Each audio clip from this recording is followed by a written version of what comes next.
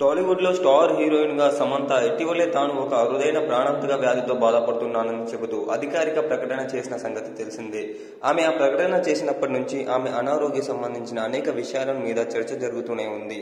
ఆమె త్వరగా కోలుకోవాలని మెగాస్టార్ చిరంజీవి వంటి వారు సైతం ట్వీట్ చేయడం హాట్ టాపిక్ అయింది. అయితే ఇంత జరిగిన ఆమె మాజీ భర్త నాగచైతన్య నుంచి కానీ నాగార్జున కుటుంబం నుంచి కానీ ఈ విషయం మీద ఎలాంటి స్పందన లేకపోవడంతో సమంత అభిమానులు మండిపడుతున్నారు.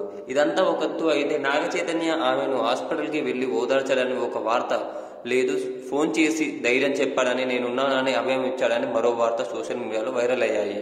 అయితే ఇప్పుడైతే ఏకంగా నాగార్జున నాగచైతన్య సంబంధ విడాకులు కూడా రద్దు చేయించే ప్రయత్నాలు చేస్తున్నారనే వార్త ప్రచారం జరుగుతుంది. తన మాజీ భార్యను అలాంటి అనారోగ్యం పరిస్థితుల్లో చూసి తట్టుకోలేకపోయిన నాగచైతన్య ఆమెను ఓదార్చి ఆమె తల్లిదండ్రులతో కూడా మాట్లాడినట్టుగా ప్రచారం జరుగుతుంది.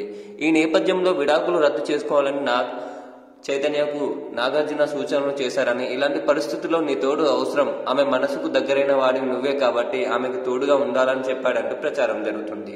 అయితే సంబంధ సన్నిహిత వర్గాల ప్రకారం సమాచారం మేరకు ఇదంతా ఒట్టి ప్రచారం అనే తెలుస్తుంది. ప్రస్తుతానికైతే నాగ చైతన్య నుంచి కానీ నాగార్జున కుటుంబం నుంచి కానీ ఎలాంటి పరామర్శ లేదని బహుశా ఫోన్లో పరామర్శించి ఉండవచ్చు కానీ నేరుగా ఇంటికి వచ్చి పరామర్శించినట్టు దాఖలు లేవని వార్తలు వెల్లడించారు. ఇక మరో వార్త సోషల్ మీడియాలో తెగ హల్చల్ చేసింది సమంత స్పృహలోకి వెళ్ళిందని అలాగే నాగచైతన్య సమంత కోలుకున్న తర్వాత నాగచైతన్య హూటాహుటిన హాస్పిటల్కి వెళ్ళి సమంతను పరామర్శించాలని మరో వార్త సోషల్ మీడియాలో తెగ హల్చల్ చేసింది